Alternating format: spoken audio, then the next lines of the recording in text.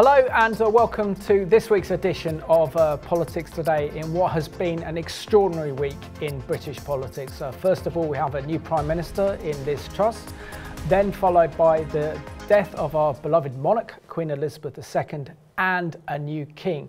And we have the eyes of the world uh, focused on our nation at this time as we're in a time of mourning uh, for Her Majesty the Queen. So, joining me in today's programme, I'm joined by Olave Snelling from the Christian Broadcasting Council, uh, together with uh, David Hughes, uh, Prayer for Parliament. Uh, Olave, it's a pleasure to have you back on Politics Day, and I can't think of anyone better uh, to be on this programme as we look back on the Queen's incredible reign of over seven decades and also look to the future of what life will be like under King Charles III. Um, so, firstly, what are your thoughts on the passing of our beloved monarch and this period of mourning that we're going through, where I think God has been centre stage through all our traditions linked to the royal family? Um, and it's certainly uh, uh, our nation is, is without doubt in real mourning over the loss of a beloved queen. We are living through unprecedented times. The loss of beloved Queen Elizabeth II is and has had a seismic effect upon the whole world. I mean, it's just it's a global reaction to the death of a much loved person, but a most fantastic person, formidable, formidable person, wonderful person, a woman of deep faith, a woman of courage, you know, of steadfastness and, and a huge sense of duty, which she has carried out for you know, 70 years. I mean, this is an astonishing record. And so when she died, I think if, if, if I reacted in the same way that a lot of other people did. It was a, a sense, just absolutely knocked back, a sense of personal shock and personal loss. I have never actually met Her Majesty, but I know many people, and I might say something about that a little later on. One of um, our great friends was a lady in waiting to the Queen, and this is something that has I've always treasured in, in getting a tiny little glimpse into the everyday workings of, of that incredible family. So it's with a most profound sense of loss that we meet today, and we're looking forward to the time um, when her funeral takes place, and, and then ultimately to the coronation of King Charles III. And I think that, that you know the whole world has is, is, is on tenterhooks and watching every single thing that's going on in our nation. Never before has there been such a focus on our nation and, and what it stands for. And she actually embodied that, which is a most incredible thing. Absolutely. Uh, uh, and David, it's great to have, have you on the program. And, and before the program was aired, uh, you were sharing how you were, you were seven at the Queen's, um, I'm sorry, I'm giving your age away now, of the coronation uh, back in 1953. Um, but for, for my generation, we know nothing other than the Queen. Um, she's always been there. She's always been our monarch is something that uh, we, we've always thought about. But to actually rule over our nation for you know, seven decades. We just celebrated her platinum jubilee uh, back in the summer, and so pleased we did. Um, you know, what, what, what does the, the Queen mean to you, uh, uh, and also the fact that, that she's been a source of stability uh, and integrity for our nation, I think is extraordinary. Yes, um, but she's always been there, and she's always been there when we needed her.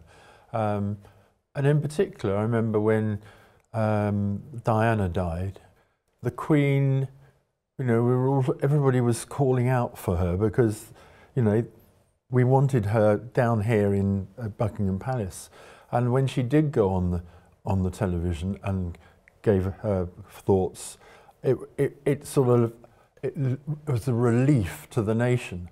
And so whenever the Queen has been around, um, we've expected her to do what she does. She's also, I know through all the most recent, certainly the last five or six Christmas um, uh, speeches she's given, she's always promoted her faith with Jesus Christ at the centre, which has been a, a real uplifting for, for Christians to know that she has stood for what we stand for. And I must admit that the last time uh, on the Tuesday, when we were watching um, Liz Truss go and receive um, her premiership from uh, the Prime Minister from the Queen, I thought the Queen looked so happy to meet Liz Truss, and I thought she's going to be able to give the wisdom because we weren't expecting what was going to happen two days later. Um, and then suddenly, a seismic, it, it, was like a seismic blast, sort of what happened on Thursday, two days later. Um, a shock to the system, a shock for the nation. Um, yeah, we've lost a wonderful matriarch, mother, queen, grandmother, everything the people wanted. Uh, she will be missed. Uh, and Ole, Olive, it's extraordinary, isn't it? When we, when we see the scenes, um, particularly as, as we've seen over the last few days up in Scotland, um, the number of uh, Scots going out to say to give their respects to the Queen, all along the roadside, as we've seen that um, um, you know convoy with, with her in, in, in the cars on, on, the way to Edinburgh was absolutely extraordinary. We've seen tractors lining up, we've seen uh, uh, horse riders with their horses lining up to pay tribute. Now, now the one thing I think, uh, if we take this a bit deeper and look into the spiritual aspect of this, that um, I think the nation is uh, is obviously mourning the death of our Queen. But I think it goes deeper as well. And I think what the nation is also touching upon is the loss of our Judeo Christian heritage, the fact that the Queen came from a different era with different values that honoured um, uh, duty and a sense of call to the nation, that, that she was humble in character, even though that, that she was the Queen. Um, and it was that kind of godliness that she brought to her role uh, as monarch. And we know that the scripture says that righteousness exalts a nation. Yeah. Uh, and we can see that with her being queen, um, there was something that we still had that hope that there, there could be a turning back to the Lord in, in our nation. So, do you think that with this big outpouring of grief uh, for the Queen, that it's giving the British people time to reflect on what we have and what we've lost, and maybe a sense in their hearts that we need to turn back to the same values that the Queen had uh, and, and demonstrated through her long reign of over 70 years. Absolutely. Absolutely. I mean, it has been incredible to see these people turning up at four o'clock in the morning, going, going into St. Giles Cathedral, uh, queuing up and queuing up. And, and they, they will be, when, they, when the body comes down here, to London, though it's going to be, uh, you know, I, I, think that nobody has any idea of what we're going to see. I mean, an, an incredible outpouring of grief. And what is interesting about it is that she did everything with such impeccable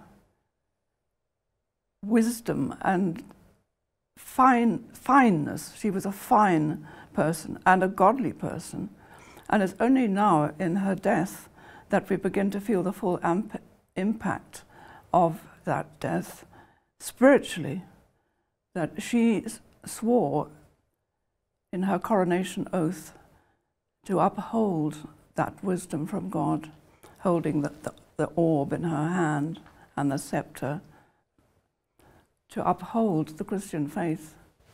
And she has done that with incredible incredible strength and dignity.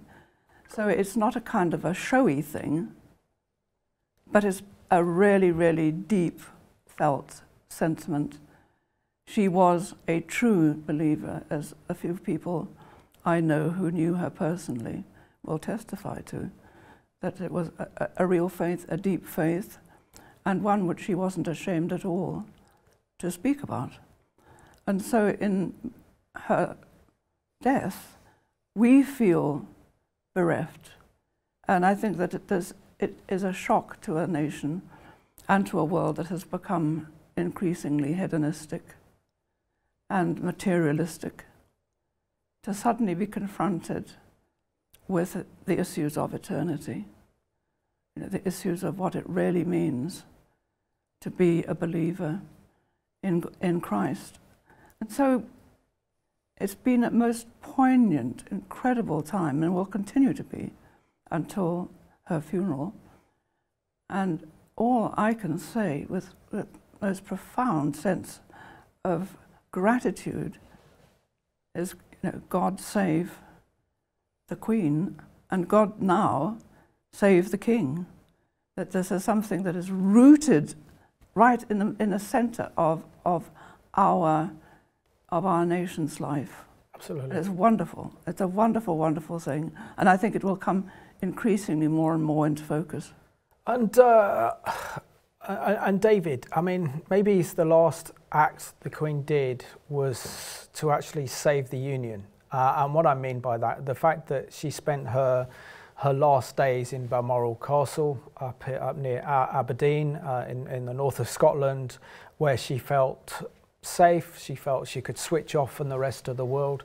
Um, also gave something back to the Scottish people as well. And I think what has been so extraordinary is the connection that the Scots have with our monarch uh, and how that in this last act by having her, uh, by dying in Balmoral, then we wouldn't have had the, the parades that we've had up in Scotland. None of that would have happened. So the fact is that she did that to remind the Scottish people uh, obviously going through a great battle now, and I'm not going into politics about uh, the union or whether Scotland should be an independent nation. But what it's done, though, is is linked, hasn't it, the Scottish people with the monarchy, um, and uh, which which is very important because you know as as a nation uh, we are stronger together than we are individually, whether it's an independent Scotland, independent Wales, or an independent Northern Ireland this is better for the UK that we are we are a union.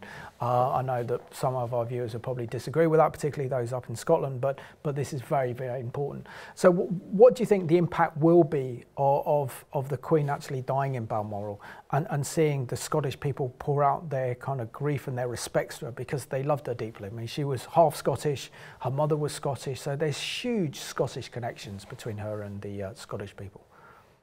I, th- I think it's going to strengthen the, uh, the monarchy in Scotland.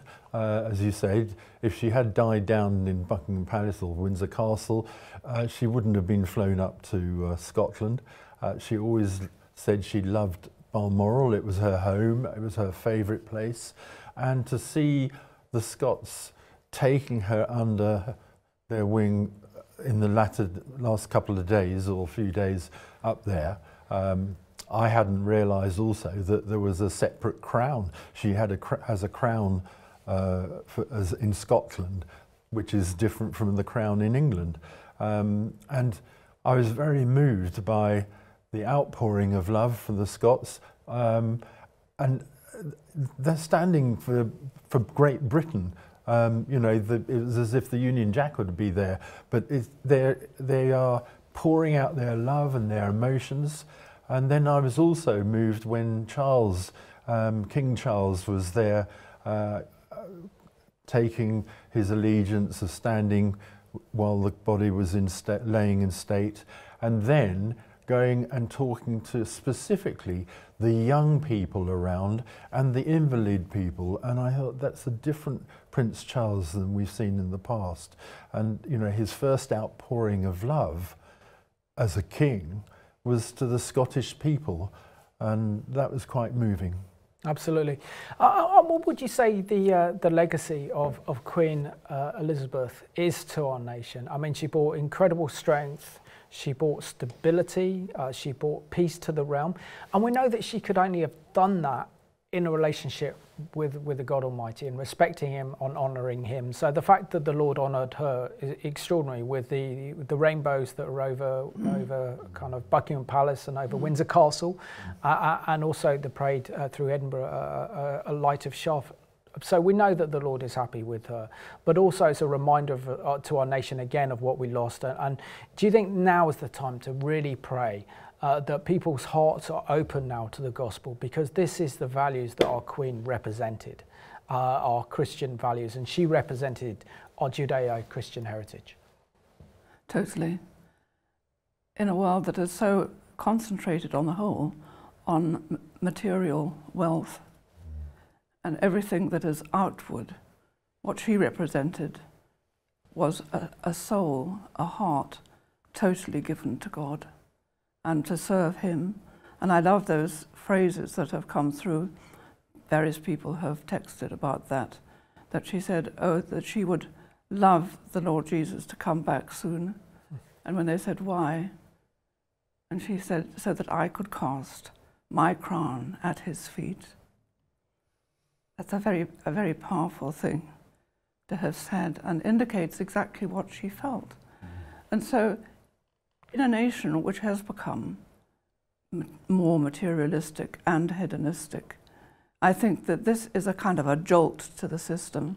This is something which brings us all up short, makes us think in terms of eternity, because we are confronted with the reality of the Queen's death, and there is her body lying in state, and it's just so poignant. And so I think that if anything can actually shock our nation um, into a reappraisal of where we are as a nation and what our fundamental values are and where our heart lies, it is the death of the Queen. Absolutely. Rather like the death of Diana, because when Diana died, mm. the nation was in complete shock, and it and and it's going to be a similar thing over this coming week. No, absolutely. Uh, uh and, and, David, um, we, we, now know that we have a, a new king, and uh, King Charles III. So, what do you think we can expect under King Charles? Um, knowing that those who his name before haven't done particularly well. Uh, we only have to look back at history as a kind of warning. But it's also a reminder that we can have uh, good kings, we can have good queens, we can have bad kings, we can have bad uh, queens, but we haven't had many queens um, over us, but we've had more kings and queens. But, you know, we, we, our nation is, is, very much at a crossroads now. Uh, we are a crossroads spiritually, and as a king, he has a choice of following in the queen's footsteps um, by being sincere and following her faith and accepting Jesus Christ into his life uh, as his uh, Lord and Saviour, or he can go the globalist route uh, and the liberal route uh, and become defender of the, uh, the, the faith rather than defender of the faith uh, and open the nation up to more multiculturalism, um, more one world religion services and stuff as well. So we are, we are really at a crossroads, aren't we? I think uh, I think he's changed a lot. If if this had been happening after, um, for example, when Diana died, if if the Queen had been moving on at that stage, I don't. I think a lot of people felt that he wasn't going to be a very good king, but he's showing himself now to be totally different. And at the age of 72, when most people are retiring, he's starting his the job he was destined for. And I think just watching and seeing what was going on, getting out of the car, shaking hand with people, laughing and smiling, um, I really genuinely believe that he has learnt a lot from his mother. Um, she's also obviously been training William, but Charles has got his opportunity to have a few years. Uh, obviously, he won't live as long as the Queen, but um, but he is I believe, different today than he was, and I think he'll actually make a good king. What was good is that there was a lot of thought that he was going, you know, when he was younger, I'm going to be the defender of the faiths. Um, on the, I had heard in recently that uh, he had, someone said he had checked it out and he understood and now understood he has to be the defender of the faith. So when the other day he actually said, defender of the faith. I believe he's learning, I think he's learning an awful lot of wisdom and discernment at this stage, and I think he'll be a, a good king for however long it's got. But as you already said, the King Charleses didn't live long reigns in the past. Mm. But, uh, and, and, and Olive, I, I mean, really, uh, King Charles needs to capitalise on what his uh, mother has left behind, which is an incredible legacy of incredible goodwill, um, particularly when it comes to the Union and particularly comes to the Commonwealth. I think his first job as king will be to secure the Union. And I think this is also why he's decided to do a tour uh, around the British Isles to secure the Union. I, I think, you know, I think uh, what having the Queen's possession go through uh, Scotland, through Edinburgh, and lying in state in Edinburgh as well was was very uh, symbolic and very very important. Um, but this is essential, isn't it? If, if, we're going to keep our nation together, uh, then he's got to play his role in knitting our nation together with all the conflicting political views and ideologies. And that's probably what has made the Queen um, so loved and so well respected because you never knew what her political opinion was. So I think Charles would do very well to follow in those footsteps because we know that once you start, and even in this program, uh, we can bring division into the program by, by talking about the union when, when we see there are nationalists in Wales and Scotland, Northern Ireland who want independence. So even within our own uh, United Kingdom, there's demands for independence, uh, and with the Commonwealth as well. So, how do you think the best way he can go about securing um, the uh, the union for, for at least another generation? Drawing closer to God. That the whole development of his personal faith from wherever he is now, uh, this is going to expand into the future where he takes up that in incredible role uh, as king. One of the things that struck me tremendously was that when he gave the speech to both Houses of Parliament in Westminster Palace, he was a few steps above where Charles I stood at his trial. There's a plaque in the stone, as, as we all know, um, commemorating that fateful day uh, when he was condemned to death and then taken out and executed. And I bet you that Charles didn't miss a thing, that, that there, was, there was something incredibly poignant about that. So when you get uh, republicanism coming in, um, it, it, it is something which cuts a swathe right through the heart of the whole country, the heart of government, heart of everything. So it's not that you have to be necessarily to be a dyed-in-the-wool monarchist, but to love the Queen, to love the King, to honour them, to follow them, to pray for them. And what we have as, as, as uh, the King's loyal subjects is to pray for him daily to pray that the Lord will sustain him, undergird him, strengthen him, lift him up, given him all the wisdom from above. Now, there's lovely verses uh, in the scriptures about wisdom which is from above, which is peaceable. It's so different to, to worldly wisdom. And to pray for that for him, that he will carry out his reign, however short or long that might be, with God at the very center and his, and his devotion to Jesus Christ right at the very core of what he does every single day of his life. Absolutely, and it's great within our national anthem. We, have got uh, God Save the King.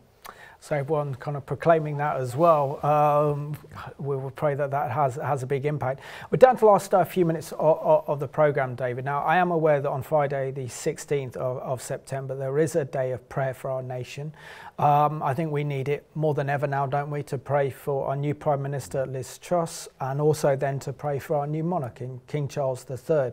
Uh, how important is it as Christians that we dedicate time to pray for Britain in our unique circumstances that we find ourselves in because we are truly living in a, a new era.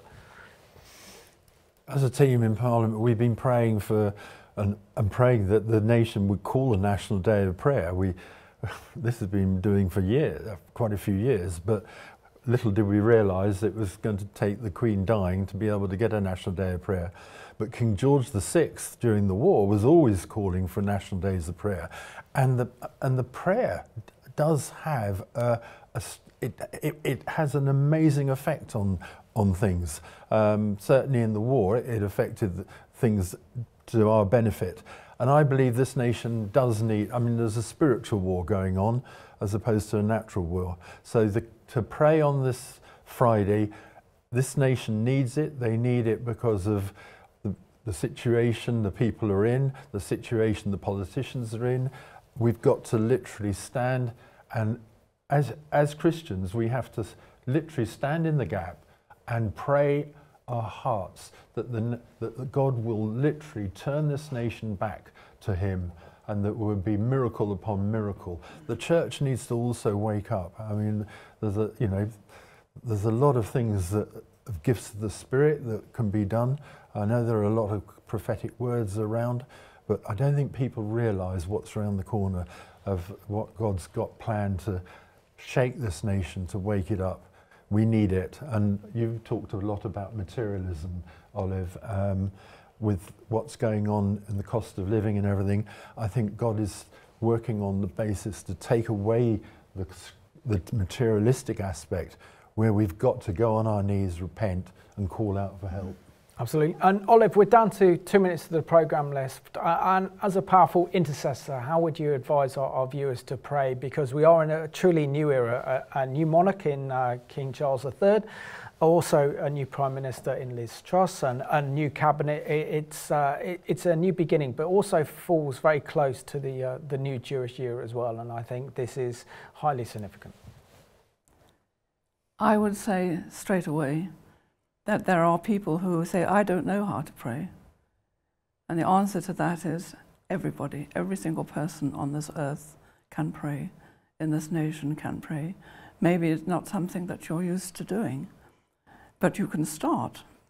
You can just wherever you are, walking in the garden or sitting at home or wherever you are, you can turn your heart towards God. And in whatever way you like, I'm quite sure that God doesn't mind at all in what posture you pray or how you pray, but just say those words and bless the new King Charles, bless the memory of Queen Elizabeth II, bless the ministers of state and of parliament. And we pray, we continue to pray, and we urge all of us here on this program, urge everybody in whatever way you want to do it, please just pray. Lift your heart towards God, and He will hear you, because He has promised that He will never leave us nor forsake us, even in the midst of such incredible turbulence. Amen, Olive. Uh, thank you so much, uh, Olive, and also David for joining us on uh, this week's Politics today. I want to thank you uh, for watching this program as we mark the the death of our beloved monarch, uh, Queen Elizabeth II, and how we have a new king in King Charles III. Uh, it is our prayer that God would touch our king, um, that he would be saved, and he'd lead our nation in righteousness. So we want to thank you for watching this week's Politics Today.